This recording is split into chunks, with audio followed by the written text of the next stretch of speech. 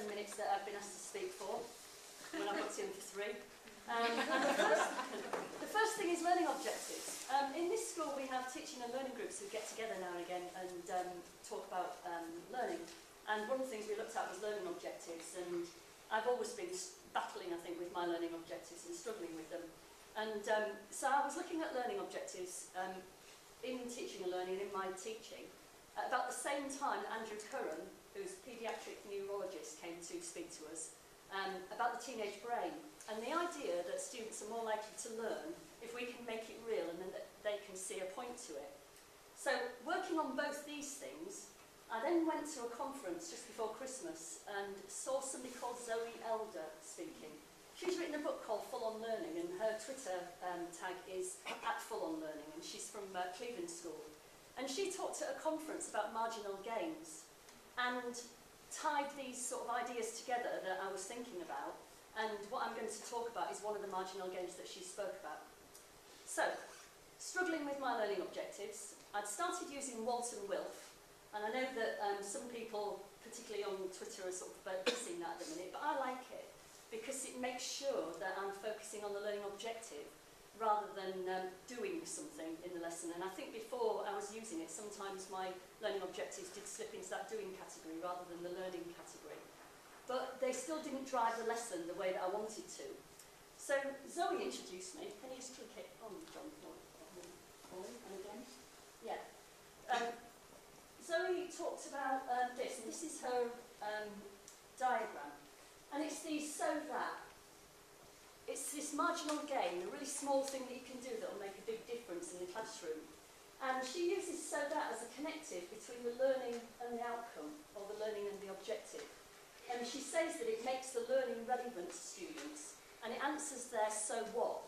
So when we put the learning objective up and they're sort of, on so what? How does that relate to me? You give them a so that that actually tells them what it relates to.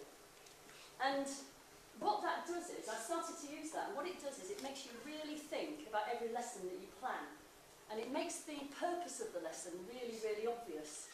It helps the students understand why you're using particular activities, and it really drives the lesson. And I feel like I've found a way of using the learning objective now that really will. Can you click again, John, thanks? So this is one of my learning objectives from this week. I'm not saying it's a good one, but you can see um, how I've used so that. So we are learning to closely analyse our mistakes with question two of the exam so that we understand what to do to maximise marks. So they understand why they're working on this again, because we did it last lesson, and then you've, you've got that idea of maximising marks.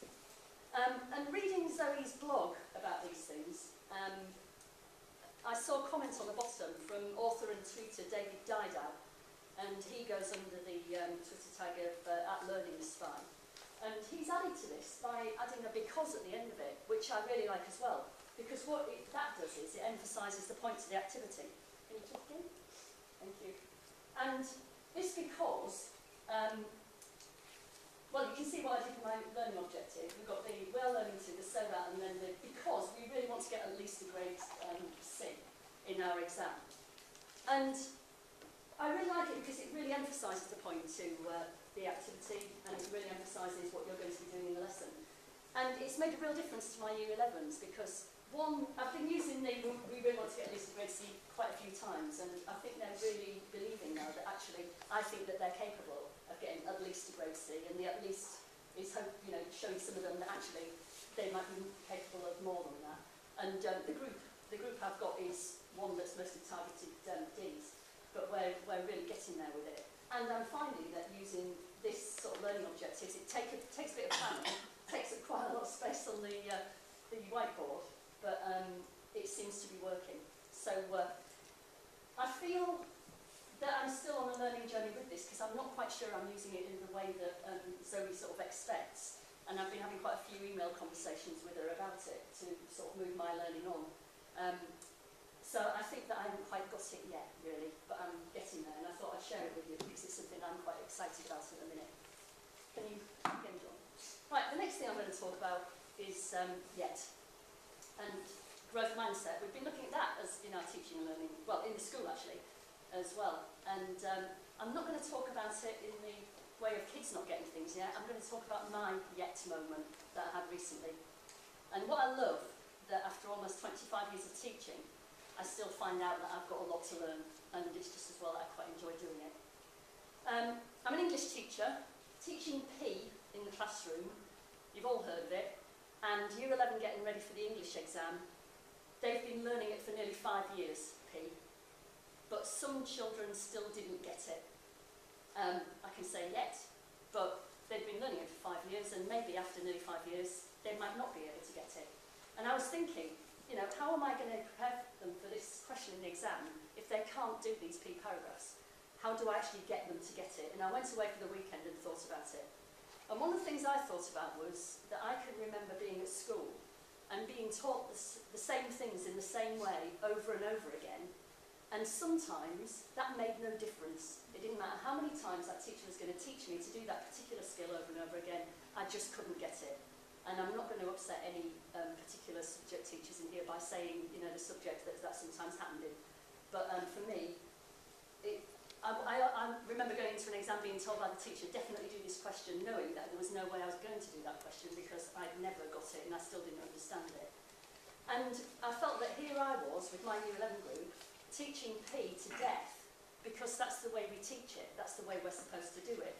But what if some of the ways that we teach kids things don't work with all the kids.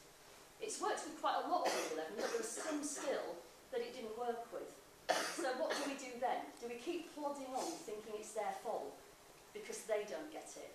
And I think in the past I might have been guilty of that sometimes, thinking it's their fault because they, they don't get it. And um, I thought, you know, when I was trying to come up with this new way of um, thinking about it, what I actually needed to do is come up with a new way of doing it. So that's what I did um, I came up with a new way of doing P. And uh, we call it our formula, and it seems to be working really well. And a few of them have said they've been using it other lessons too, and it's been working well for them.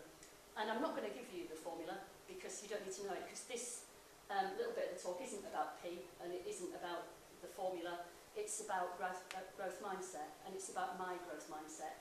It's about me thinking, I don't know how to help them to learn yet, and then coming up with a different way of doing it.